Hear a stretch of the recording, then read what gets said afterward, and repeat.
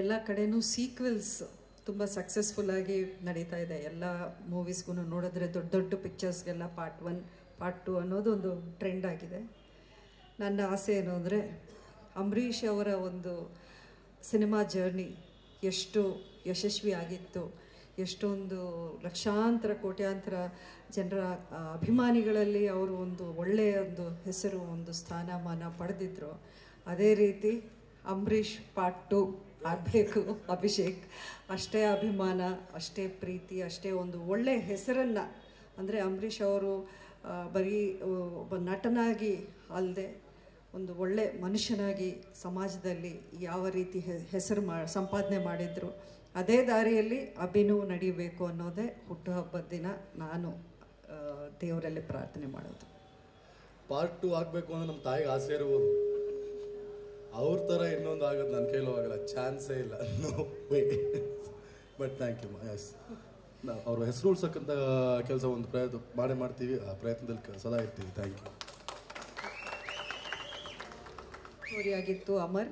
ಅದು ಅಂಬರೀಷ್ ಅವರ ಆಸೆ ಆ ರೀತಿ ಲವ್ ಸ್ಟೋರಿಯಲ್ಲಿ ಫಸ್ಟ್ ಇಂಟ್ರಡ್ಯೂಸ್ ಆಗಬೇಕು ಅನ್ನೋದು.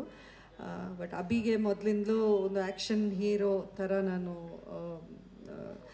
ಒಂದು ಐಡೆಂಟಿಫೈ ಆಗಬೇಕು ಅನ್ನೋಂಥ ಒಂದು ಇಷ್ಟ ಇತ್ತು.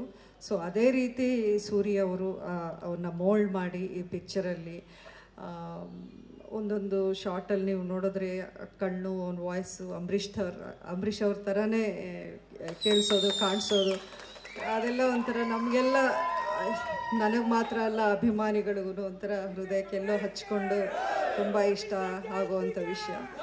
ಸೊ ಈ ಸಿನಿಮಾ ಖಂಡಿತವಾಗಿಯೂ ಯಶಸ್ವಿ ಆಗುತ್ತೆ ಅನ್ನೋ ನಂಬಿಕೆ ನನಗೆ.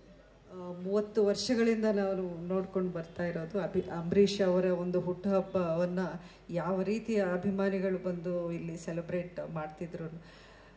ಅಂಬರೀಷ್ ಅವರ ಹುಟ್ಟುಹಬ್ಬ ಯಾವತ್ತೂ ಅದು ನಮ್ಮ ಸೆಲೆಬ್ರೇಷನ್ ಆಗಿರಲಿಲ್ಲ. ಅದು ಇಡೀ ರಾಜ್ಯದ ಒಂದು ಸೆಲೆಬ್ರೇಷನ್ ಆಗಿತ್ತು. ಅವರ ಅಭಿಮಾನಿಗಳ ಒಂದು ಸೆಲೆಬ್ರೇಷನ್ ಆಗಿತ್ತು. ಅಭಿಗೆ ಆಶೀರ್ವಾದ ಇದ್ದರೆ ಸಾಕು ಅಂತ ನನಗನ್ಸುತ್ತೆ.